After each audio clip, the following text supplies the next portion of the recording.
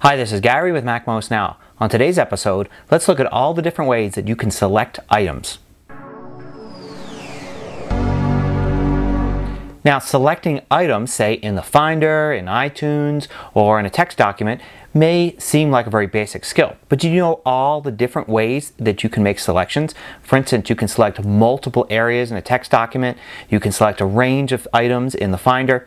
Let's go and take a look at all the different things that you can do with the mouse and with keys on the keyboard to select items.